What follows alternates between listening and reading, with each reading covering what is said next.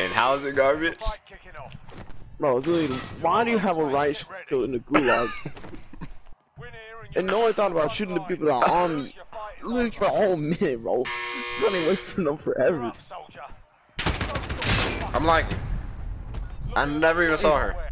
That's the person that I killed too. I didn't even see her.